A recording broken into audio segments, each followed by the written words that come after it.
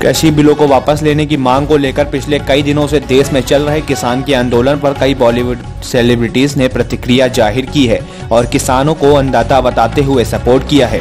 इनमें अब प्रियंका चोपड़ा और सोनू सूद का नाम भी जुड़ गया है। वहीं बीजेपी सांसद और एक्टर सनी देवल ने भी किसान आंदोलन को लेकर अपनी प्रतिक्रिया ज़ाहिर की है। प्रियंका चोपड़ा, पंजाबी एक्टर दिलजीत दोसांझ के एक ट्वीट को रिट्वीट करके लिखा, हमारे किसान देश के फ़ूड सोल्जर्स हैं। प्रियंका चोपड़ा की कजिन एक्ट्रेस परिणीति चोपड़ा ने एक पोस्ट शेयर की, जिसमें लिखा था, अगर आपने डिनर कर लिया है तो किसी किसान को शुक्रिया बोले। वही अपने चैरिटी कामों को लेकर बेहद चर्चित और लोकप्रिय कलाकार सोनू सूद ने लगातार किसानों के पक्ष में ट्वीट कर रहे हैं। पाँच दिसंबर को सोनू ने लिखा था, किसान का दर्जा माँ बाप से कम नहीं।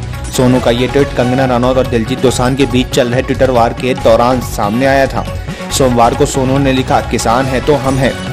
वही बॉलीवुड एक्टर और गुरदासपुर बीजेपी सांसद सनी देवल ने किसान और आंदोलन को लेकर अपनी बात रखी।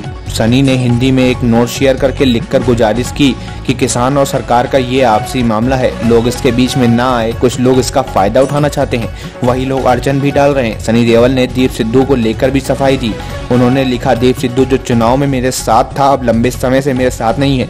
वो जो भी कर रहा है, अपनी इच्छा से कर रहा है। मेरा उससे कोई संबंध नहीं है। मैं अपनी पार्टी और किसान के साथ हूँ और हमेशा किसान के साथ रहूँगा। हमारी सरकार ने हमेशा किसान के बारे में सोचा है और बातचीत से हल निकाल लेंगे। इंडियन प्राइम न्यूज़ से ब्यूरो रिपोर्ट।